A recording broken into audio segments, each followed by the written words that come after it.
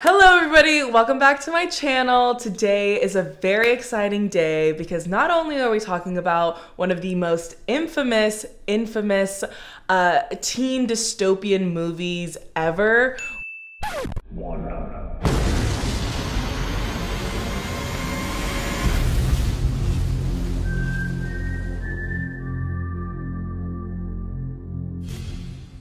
We're also joined with a very special guest that you guys have been asking me to do a video with for the longest time. Today, we are joined with none other than Mike's Mic. I think you mean Seneca Crane.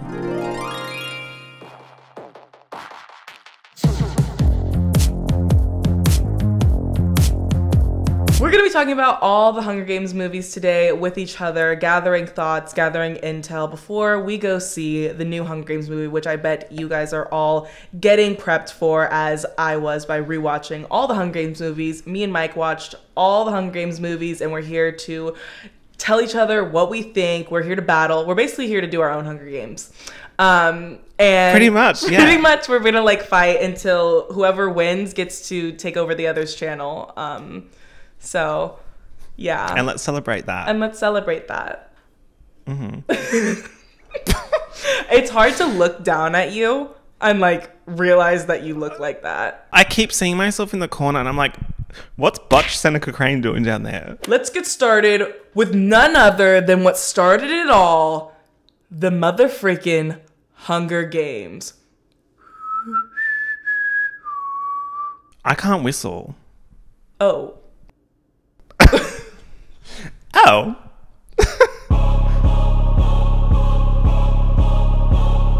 What are your thoughts on Katniss' introduction to the movie? She comes in, and this is where we're getting all the little nitty bits and pieces of her. We're like, this is who are this is who are, we're we're following through the movie. This is the protagonist. I feel like it's a good contextual setup and also shows that she's about her business in District 12. She's about her sister. She's about hunting. She said, I love to go in the forest and do a little bit of hunting. And then I love to help my sister out. Like, there's like her sister and the hunting. Like, yep, done. That's Katniss. Yeah.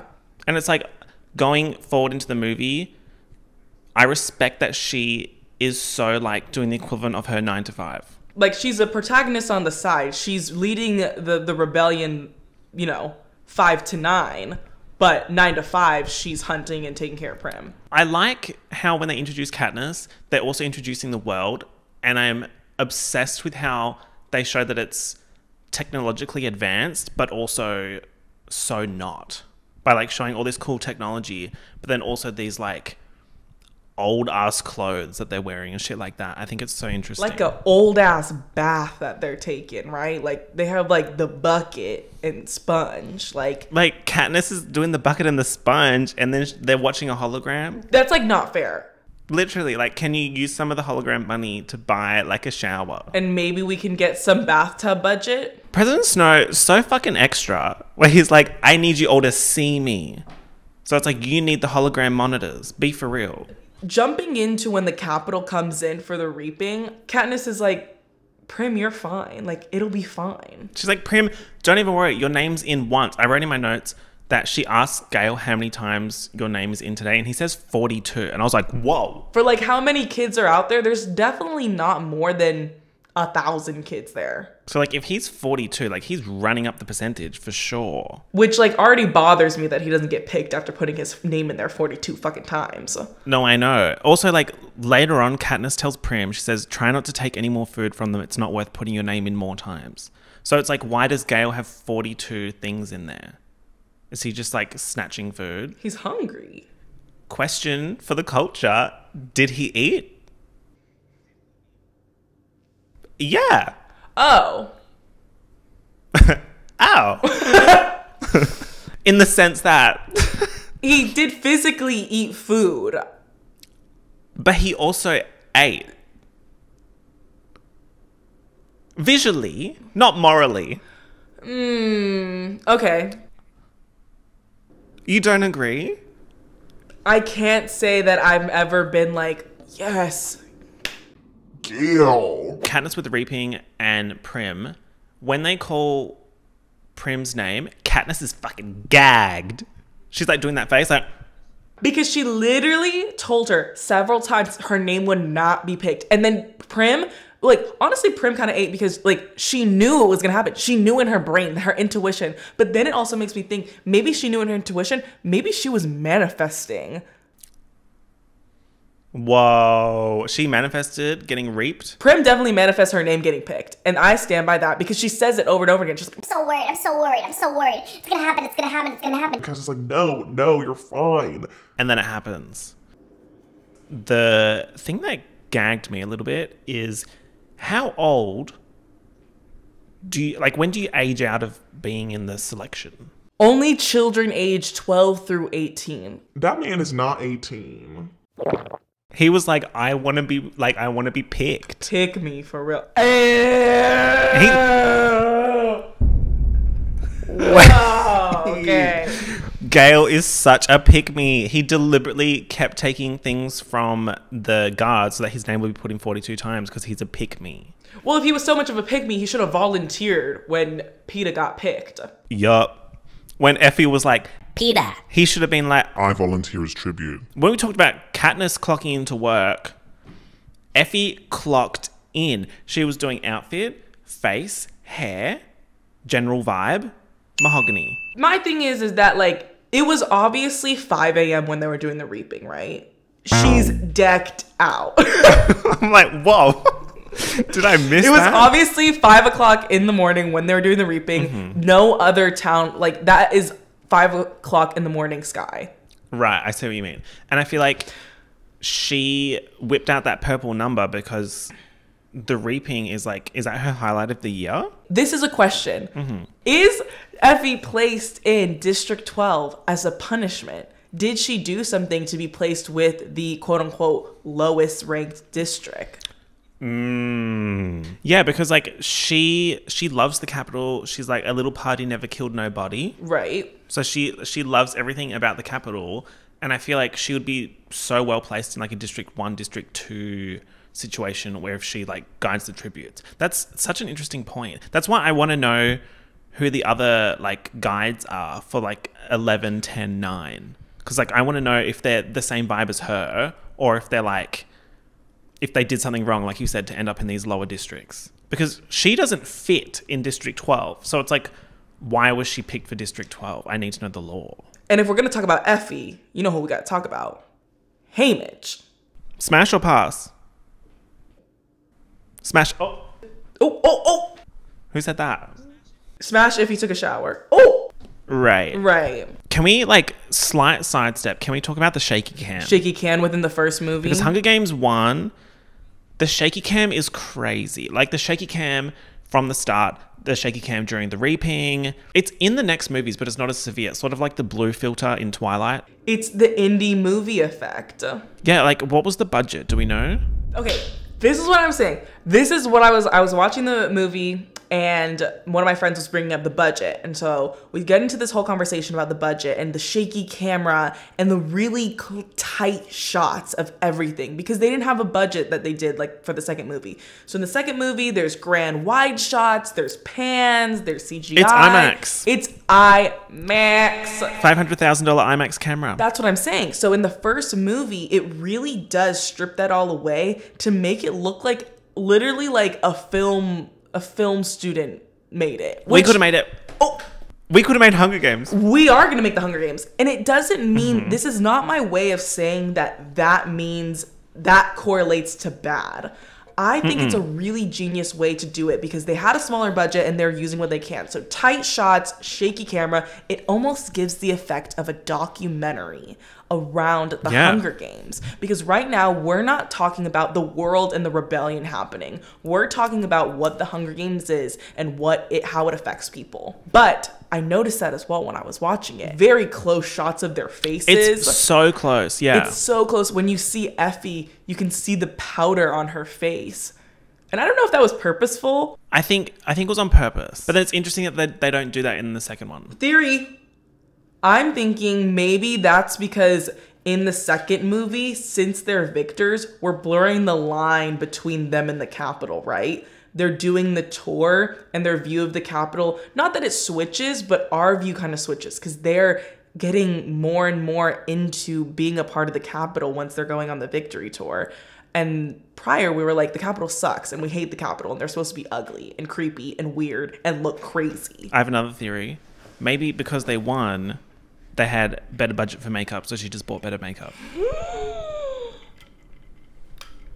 Let me ask the audience. Me- Did she get the raise when they won? That's why I'm like, does she get paid to do this? Yeah, like, do the stylists get like paid? Does does Caesar Millark get paid? Because Haymitch won, so he gets paid every month, Right. right? Or he gets paid every year. Like, who are the employers? Like, who's the like Google of? Mm. Like, who's the monopoly of it? Is it just Snow? Every time there's a technology reference in Catching Fire and Mockingjay, it's like, oh, Beetee built this. Yeah, like he like, himself built Is it. he the Google? Like, is it Beetee Inc? Like, where? Like, who? Who's helping him? we're now off the train and we're going into tribute introduction. Mm-hmm. The interview show with Caesar is really where the game starts for me. I think he is such an interesting character. Susan Collins or Suzanne Collins, I feel like did such a good job with these characters because you want to know more about them. It's like I want to know how he got into that position, like how much control he has over what he says because like in the first one it sounds like he is just interviewing the girls to get the information before they go into the arena. He's done this like 25 times. But then in the second one, he has it seems like he has more control over the show. Like he cuts the show when the shit starts going south. And then in the Mockingjay ones, like he's all in the like propaganda stuff. Like I want to know how high up in the hierarchy he sits and how much control he has over what he says. And if he picked that hairstyle because Girl, take that bump it out. take the bump it out. Don't piss me off. Like give Caesar Caesar needs a fade. I also think someone is typing a comment right now screaming at us to read the book because I know No, I was literally thinking when we were talking about Effie, and it's like, and yet we're not going to read the book. we're like I wish someone would tell us the lore behind these characters and we're like and by the way we're not reading the books and we never will read the books. Maybe I will read the books. I'm reading wiki and that's what I'm reading. Peeta throwing that like ball. When Katniss is like, you need to show them. You need to show them what you can do. Throw the ball. Throw the ball like and he throws it, and they're like, oh. when they literally like stutter backwards and they're like oh Cato's like, oh, okay, big man. I they see literally you. are like oh like, oh, District 12 boy can throw. Right. But then it does, it actually is important because he throws something later in the actual games. But anyway, so the second thing I wanted to say was the queen of the universe, Foxface. I'm obsessed with that. It's like they're showing all their skills, and she's like, let me match. Let me match the cards. Let me play Go Fish real quick. they were like silhouettes of like fruits and veggies. They weren't even like the actual colors of them. Like, what is she doing in that scene? it's all silhouettes. Like you can't really tell. It's like leaf to leaf, berry to berry. How, what am I memorizing? That a berry is a berry? what the fuck were, was so many of them doing in that room? Like, she was matching, her, like, she was doing her little Go Fish. Peeta was throwing something. Like, Rue was in the rafters, just like doing anything. Like, they. Okay, because when you go into Catching Fire, you realize that like, this is actually the point like where people train. It's so important. in the Hunger Games, it is like Peeta's painting on his arm and being like, check out, check out, check out this. Check this out. I'm a tree. I'm bark. Bark, bark, bark. Foxface mm-hmm. is playing, she's iPad baby. Rue is up at, Rue's literally suspended from the ceiling. Foxface is literally playing fucking Candy Crush. She's literally playing Fruit Ninja. She's playing Fruit Ninja on the big screen. They're, Katniss is like, ugh, when's it my turn? this scene, she enters the arena.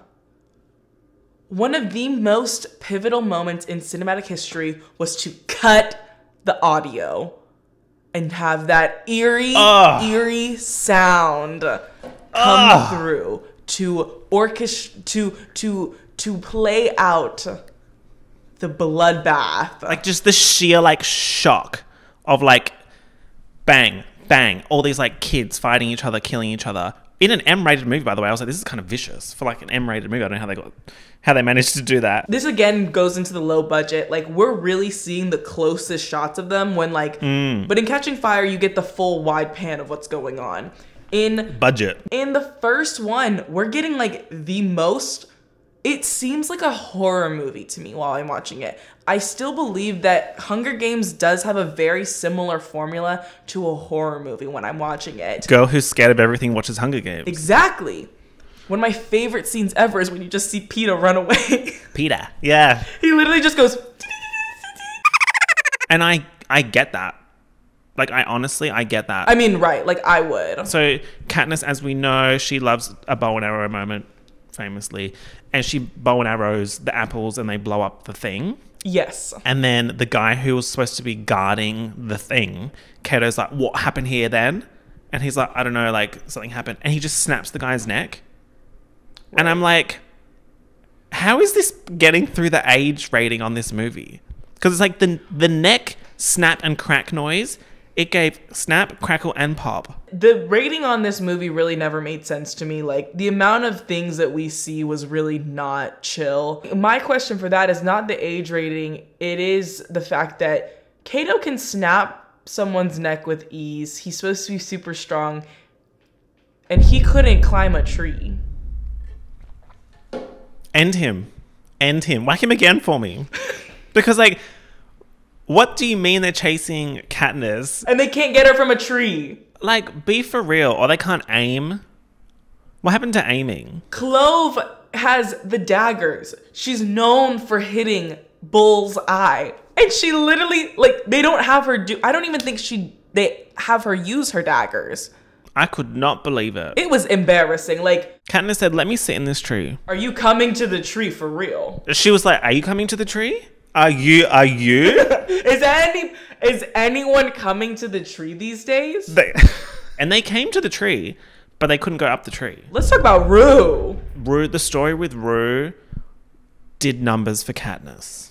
It was a PR move. Like, is it bad to say Katniss was doing PR moves by like taking Rue under her wing? Because it's like, yeah, you're being a nice person, but also like genius move from a PR perspective. Like, if I was Katniss's agent, I'd be like, yep. After like Katniss buries Rue, where's the claw? Maybe they were trying to let her do her PR work because she does take she takes a long time. She sets up the flowers. She sings her a song. That's like at least 30 minutes to an hour of work. So do you reckon they felt bad? They're like, we'll let you finish, and then we'll come and scoop. Like scoop you in 10. Seneca was like, this is good for ratings. Capitol loves tenderness as much as they love uh, the brutal uh, gore of it all. They also love the love story that's playing out. They love, you know, the the tenderness that Katniss shows. That's why Katniss becomes such a lovable uh, girl of the Capitals because she didn't kill in the Hunger Games. She only killed if she was being attacked. Mm. That's such a good point. Around this point, I think when just after Rue dies and like the drama's happening with Clove, I'm pretty sure that's when there's the scene of Snow talking to Seneca and he's like, I like you, be careful. Right. I was like, okay. So you like him. So you like him? So you like him. Oh. I see what's going on. The Nightlock Berries, are they potentially one of the most lethal characters in the movie because they killed two people and nearly four? Right. Because they killed Foxface and they killed Seneca. My question is, why so juicy? And I ask myself that every day. Why so juicy? Why why did you make the berries look so good? Like they're always wet when they find them. They're not like berry. When Katniss like pulls them out of her pocket Yeah. and they're all like mushed, I'm like, oh, like those warm berries out of your pocket. Your little like pocket berries. so like they're gonna be like warm cargo pocket berries. She's like, you want a snack? Snap my neck instead. Like, go shoot me. I'm not having your pocket berries, your warm berries. You're insane. And this is where the true the the the climax of the movie hits is when they when they try to ingest the berries and Seneca goes, "Stop, stop, stop, stop, stop. Fine, fine. They're two winners of the 74th annual Hunger Games." He's like, "Fine." He's unprofessional in that moment. I, I just know when Snow saw that shit, he was like, oh, you're over. You're done. He was like, "You should have let them fucking die." Snow could have not killed him in like a visuals sense because that hasn't happened before. There hasn't been two winners before, as far as I know, without reading the books. So I feel like at home, the, the people at home will be like, oh, that's so interesting. Like this Hunger Games was so interesting. They had two winners. But then I get why he was pissed off because they rebelled against the Capitol and won by not dying. So he's like, oh, we need to, we need to stop that. Final scenes of the movie is uh, Katniss and Peeta winning and Seneca dying. So Seneca walks into the room and he's like, Oh, they locked the doors behind me. Oh, there's a bowl of berries here. How interesting. Mmm, how nice of Snow to give me a snack. Like, I'm so hungry right now. And then he's like, Oh, I'm gonna die. He gives him a lot of berries too. He could have like One juicy wet berry is enough. I was gonna say, the last thing I wanted to say about the first Hunger Games movie is when Peeta is fucking around with those fuck ass paints and he's suddenly a rock. we totally missed that. Oh my god. Like, where did he get the materials to be doing that? Did they make shit? a backpack specifically for him? You know how like they put the bow and arrow out for Katniss, right? Like, is he doing this shit without a mirror? And like how did he blend into the rocks? Like how did he blend himself? How did he blend at all? Did Haymitch send him? Did they sponsor him? Did they send him those tools? like, Peeta's like, hey guys, I'm dying. And they're like, here's a cake de- decorating. They're like, here's some fondant.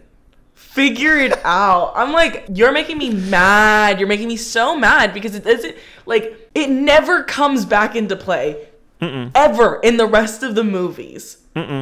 If it had more than two references within the whole entire Hunger Games, I would love that so much. And like, the speed with which he does it as well. He's just like sitting in the he's just sitting in like a corner being like, "Hey guys, welcome to my channel."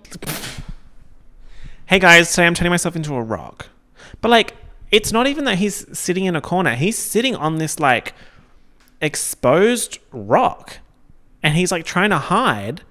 So he's like, oh, I need to hide quickly. And I have this stab wound in my leg. Let me paint myself into a rock with like so much detail. Like that would take hours. Not to mention he's also by a water source. Do I have thoughts on Peeta? Yeah. Do I think people would not agree with my thoughts? Yeah. Am I going to keep them to myself? Yeah. Oh, okay.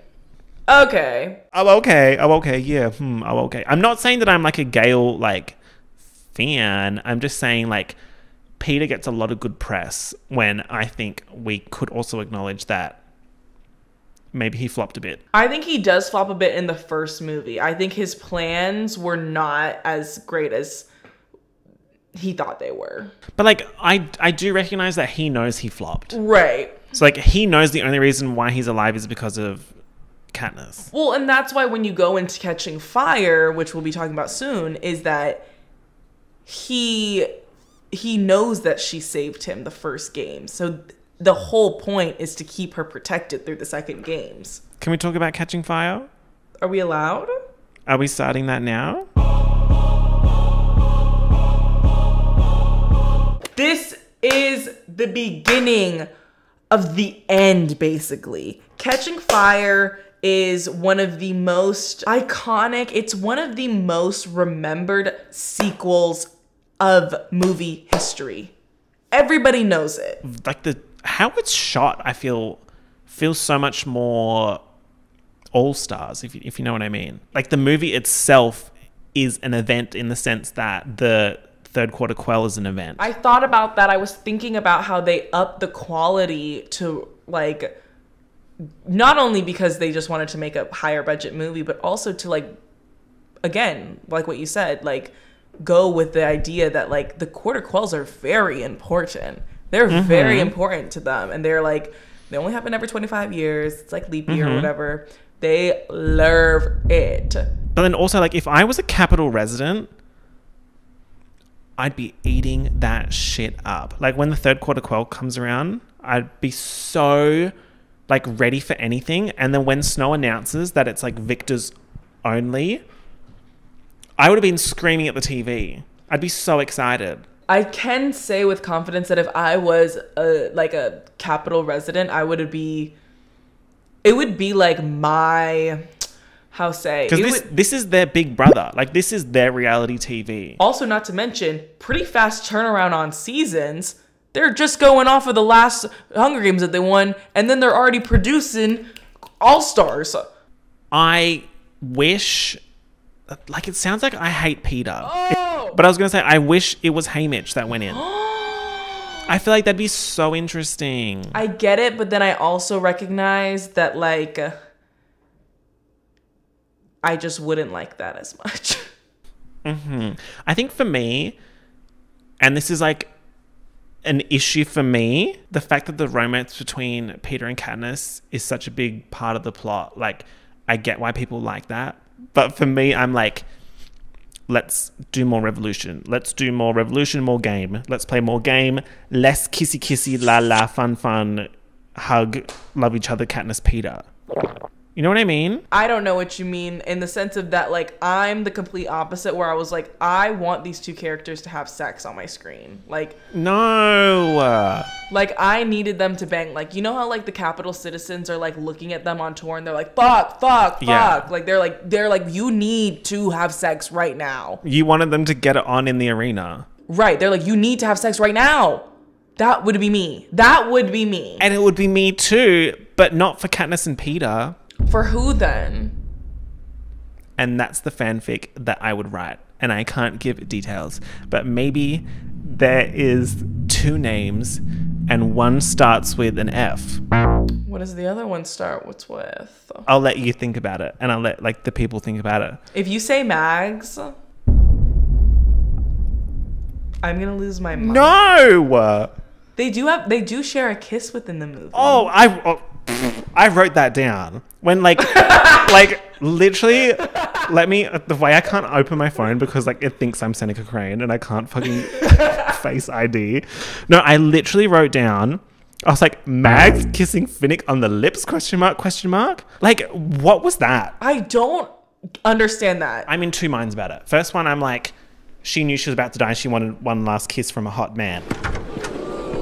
One kiss is all it takes. Like, is she so wrong for that? No. But then also, like, he wasn't gagged by it. So that also gave me pause. That made me I was like, now hold hold on. Let's press pause on the IMAX camera quickly because that was in IMAX. and like no one's ever told me. If like some random old lady kissed me on the lips and then ran into smoke to die, that's a crazy sentence. That that typical relatable like situation when that happens. Oh yeah, but he's so unfazed by it, which scared me a bit. Okay, so in, when in Finnick's interview when he's talking about Annie, he goes, "If I die in that arena, The last thing that I'll be thinking about is your lips touching mine. So does that have any correlation to what Mags does? A Finnick, Annie, and Mags in an open relationship? She's their mentor. You don't see Haymitch kissing Katniss on the lips like that. No, no, no, no. So what's going on? We could probably find out in the books. Someone explained it to me and I don't know what it is. And like I remember hmm. like being like, "Hold up." Everybody go mute. okay, fine. Stop asking. The fanfic was Finnick and Haymitch. Oh my god. Oh my god. Did you hear that? What was that?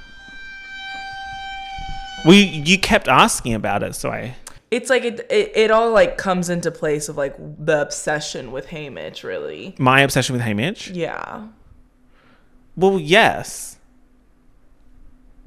Full stop. End of sentence.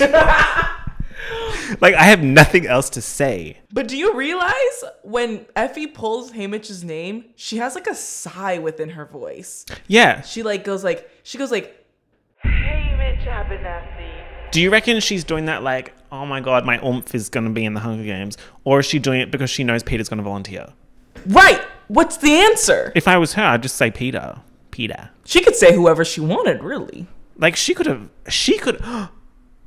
Conspiracy theory: the first Hunger Games, she was in on it and she picked Primrose. Primrose Evergy. What if she was in on it with Peeta, Haymitch, and Peeta. the rebels to say Haymitch, so Peeta would volunteer so that Haymitch could start the rebellion behind the scenes?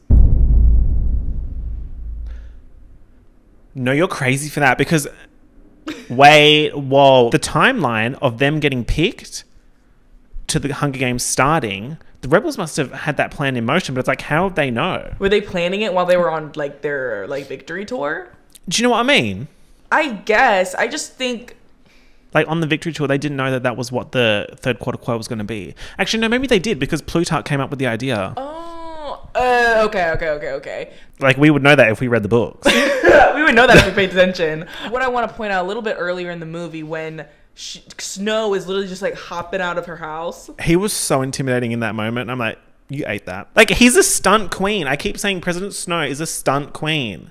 Like he doesn't do red roses because everyone does red roses. He's like, I'm going to do white roses. But then also like when he puts the white roses on the floor, like after the bombing of um, District 13, like Gagged. he loves a stunt. The weird, weirdest thing he says in this scene. So they go through this whole scene where he's like, "You're a bad example," and he's like, he's like yelling at her. He's like, "Don't lie to me." Then he, then she goes, "I'll convince them that Peeta and Katniss are in love," and he goes, "No, convince me." Weird, weird old man obsessed with teenagers in love. Weird. He was like, I don't believe the ship. I don't believe it. He's like, I don't believe it's canon. No. You and Gale are canon. And he pulls up the receipts. He's like, was this you guys kissing? It's like, is this you right here? this you? Was this you defending him at the at the poll? oh, when we talk about that, when we talk about old Tom Cruise coming in to whack Gale and Katniss stands up to him, yeah. Yeah, it's like I still don't understand that that like three victors had to come up and be like, stop, Yeah. for him to be like, oh, like maybe I shouldn't kill the very recent victors of District Twelve. And like the whole reason why they're in District 12 anyways, because Katniss was rebelling and inspiring everyone, and he just whacks her, and he's like, "Oh, like I didn't know who you are. Do you not own it, uh, like a TV, like your little holographic TV?" I thought everyone had them. The way like Katniss had to pull up and be like, "Stop! Don't talk to me, loser, lame as wanna be." Like, oh. totally. Or like Haymitch comes in, I'm like, my man, my man, my man. And then Peeta comes in, I'm like, Ugh. do you know what I mean? It's like, ugh, you just wanted to be included. Like you're not, you're not adding anything. You're a hater. I'm not a hater. I'm not. I'm just, I need to protect my man. and I need to protect my peace.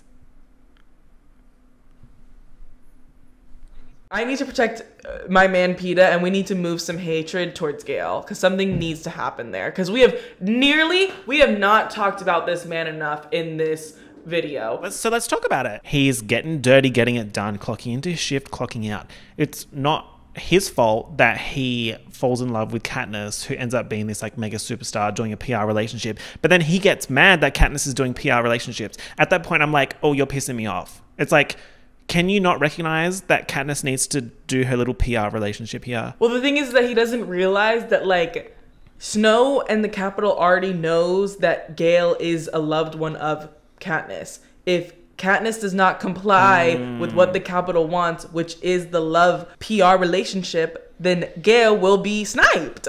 Yep. And honestly, at the beginning of the tour, they're both being absolutely horrid to her because Gale is being like, "Do you love me?" Like, uh, like, He's a pick me. like she just survived her the the Hunger Games, and he's like, "But do you like me though?" Peeta is literally like, "Don't talk to me. Like, none of it is real. You're just like we're, you're we're just trying to survive, right?" It's like she can't do anything. She can't do anything. Can't do shit. She can't have shit. Like she has to deal with these like two men. They want answers from her. She's like, babe, I just was fighting for my life. I was literally trying to come back home to my sister, and now everybody's trying to get my coochie. Right. Pussy too bomb. Pussy, pussy too bomb. It's like that Nicki Minaj line where she's like, he said the pussy top five, dead or alive. And she made sure I, she was alive. Katniss is with Lenny Kravitz in the TLC music video, right? That room that looks like a fucking TLC music video. So Katniss is standing there, looking snatched, mind you, talking to Lenny Kravitz. Lenny Kravitz gets whacked. Pushed. And then like she's supposed to be like, oh, time to start the Hunger Games, I guess. Goes up the tube, aspect ratio change. Bright ass scene. She's adjusting her eyes to light. We're adjusting our eyes and to it's like light. spinning around. That if I saw, I didn't see it in IMAX, and maybe that's my biggest regret ever. So she's looking around. She's looking for Peeta. Peeta. Peeta. Peeta, where are you? Peeta, the horse is here. And like she's like looking around this fuck ass like Kesha arena, the TikTok arena, and then the countdown's like turn nine, And then Jennifer Lawrence said, Let me swipe my face card real quick. She changes her reaction. She's like, Yeah, right. She goes like Yeah. With the curtain bangs. right when she came up, she was like this. Then like she starts running to the thing, gets the like her little bow and arrow. Finnick. Do you like my Cartier? I saw my wrist check. Hey Katniss. You look kind of like accessoryless over there. Good thing we're allies, right? See, when you're the it girls, you're the it girls. And like he like the casting as well. I we we don't know what the source material described him as, but that was a perfect casting. I can't think of like another person that would match this character that I've never read about better. Yeah, I've never heard a description of him, but I can't imagine anyone better. The fog was just just nasty. And mind you, that's the first thing that happens. When was the blood rain? The blood was the blood rain before the fog. They do say at some points, like when they work out it's a clock, they're like first hour was the fog, then monkeys, then da da da, then blood rain. I'm like, bold of you to assume that you had the first three issues. That's what I'm saying. And one, okay, so you know how in the Hunger Games I was talking about how I was like, what? The fireballs came out so quick. In this one, I believe the same thing. They barely have the the tributes interact before they're sending poisonous fog to burn them to death. I want to see them fight each other, not fight the earth. Monkeys to be round two is like We've established that I would have given up by now for sure. But like if I was Peeta, Peeta, and then these fuck ass monkeys were roaring at me, like the introduction of that where he literally turns around. Ah! it screams in his face. I'm like, where's the class? It's so unserious that the monkeys like got introduced like that, and they're like all around them. It's kind of like one of those scenes where it's like it's right behind me, isn't it? Peeta was literally like, oh, it- it's right behind me, isn't it? And like, what are the monkeys like? In the first movie, you see the like dog thing that he creates. It's not a normal dog. It's like a little bit different, right? It's bigger. It's kind of grosser looking. But these monkeys just look like monkeys that are like mean. Vicious. They're just mad. They're, ma- they're mad as hell. They came up in that arena mad as hell. But then also, like, what are they made of? Like, Billie Eilish, what was I made for? What were they made of? Is there like a Capitol zoo that they're put in? But they're not real. The dogs aren't real. I know they're not real, but do like do the surviving monkeys get placed somewhere afterwards? I think they just disappear. I wanted to see the blood rain. I wanted to see the blood rain happening. When Johanna comes out, she's covered in blood. She's like, and I'm covered in blood, but not my blood. It's raining hot, sticky blood. Are we going to talk about how Johanna's one of the best characters of the series?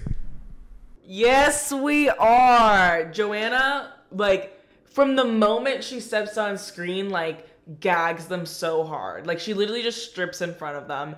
And then it only gets better from there. She's so upset and so outwardly upset about everything that's going on. Her with that axe. Like, obsessed. I want to know how she won her games. We could probably find that out. but I also like how they each have their own signature weapon. Like, I love that. That's so anime. Oh, period. Mm-hmm. I do love that. I also love that Finnick's signature weapon is the trident, and he gets sent that in the games that he plays, and it showcases how much the Capitol doesn't realize what people from District 4 actually use to hunt because they don't use tridents to hunt fish. Mm. They just send it to him because they think it looks cool. And it does look cool. That's the thing. It looks badass, so he makes it his signature thing because he's like, I'm gonna do it for the people. when he's like fighting the monkeys and he's twirling that shit around. He doesn't need to be doing all that. Like he just needs to. Uh. He could twirl me around. Yup. Um, but then Johanna says that she saved them for Katniss, and Katniss is like, "Now, what do you mean by that? Like, explain." But she doesn't explain. But she like doesn't ask them to explain at all. She's like, She's like, "That's weird." Anyway, TikTok is it? And then the next scene is just like This- this. Wiress like TikTok, TikTok. the scene of her being like TikTok, TikTok, and then Katniss is like, Well, yes, TikTok. "Like, Wiress is a genius. Wiress and Beetee, like, let's talk about it." Were they like fucking? That's what I mean. Like, what's their vibe? Katniss recognizes that it's a clock, and we have the whole explanation. Different sectors for different things. The long tail of the cornucopias. The what? they spin the thing. They're like, okay, well, it's still a clock, and the lightning is still happening over there. So then Beetee comes up with the plan, and they're gonna run the wire. And Katniss is like, Peeta, we should Peeta, we need to dip, because she's kind of like, what the fuck? Like, we are a group of one, two, three, four, five. She's like, that's too many. That's too many. Like, we're gonna have to kill them, or they're gonna have to kill us. The idea of alliances in the Hunger Games is like really wild. It, it does make sense, but the idea that you would make alliances with that many people, just that you can make an alliance with one person, and that's about it. Because that Haymitch makes an alliance with one person within his game, I think. Oh, really? And how do you know about that? Oh. Uh, uh, maybe maybe I watched the fan made edit of Haymitch's story on YouTube.com. Might as well say goodbye now. Don't want it to come down to the two of us. I've got a few quick fire points, and I'm going to go through them real quick because they're quick fire points. First one is like the guy in District 12 beating up Gale looks like old Tom Cruise. Next thing is when Katniss and Peeta are in the Capitol, she's wearing these like K-pop socks, like K-pop music video sucks. She could debut at SM. Okay, Okay. Finnick crunching the sugar cube right. pissed me off a bit. Oh. I was like, I don't like the texture. I don't like the texture of that sound. Like, why are you crunching the sugar cube? Just suck on it. Suck on it, Finnick. Oh my god. Yeah. I said, Johanna, when she has the red in her fringe, mm-hmm. there's like a scene where she randomly has like red in the fringe. I'm like, oh, she is like, she looks so, she looks so good. But her hair's red throughout the entire movie. like Johanna has like burgundy hair. Right. And I knew that. So we didn't read the books or watch the movies. We need to talk about the master of Beetee's plan. So he's like, we're going to electrocute the girls. And Beetee's like, I don't know what it is about Beetee, but every one of his lines, I'm like, yup. When he's like, ugh, electrocuting tree, minimal charring. I agree with the line delivery, especially in this callback to when Caesar is interviewing him and he's like, the rule was invented by men, so it certainly could be unwritten. The Quarter Crow were written into law by men. Certainly it can be unwritten. Yes. Literally. It's like, wait, let's do like let's have a Beetee off. Like who can do the best Beetee? the rule was invented by men, so surely it can be re- reversed by men. Like he's like the. ugh. you ate me up there though. Like you really like. You were training for this moment. Joanna digs the thing out of Katniss's arm, and then like Katniss is like Peeta, Peeta, and then Finnick like does the thing again with the like remember who the real enemy is. Remember who the real enemy is. Which odd that he kept that on throughout the entire game. Like I'm all about an accessory, I just feel like a bangle would fall off. not a like a cunty bangle like that. Like that's like if I had the the Haymitch bangle, the the bangle that his boyfriend Haymitch gave him, I'll be going up the bussy. huh? The bangle, The bangle up the bussy. right? Right. No, you're you're so right, and you should say it. Um, and then Katniss gets the claw and comes up, and then she's in the fucking ship, and then she's like, "I want to go home. How's how's home?" And Gale's like, "There is no District 12." This is Katniss laying down. She's like,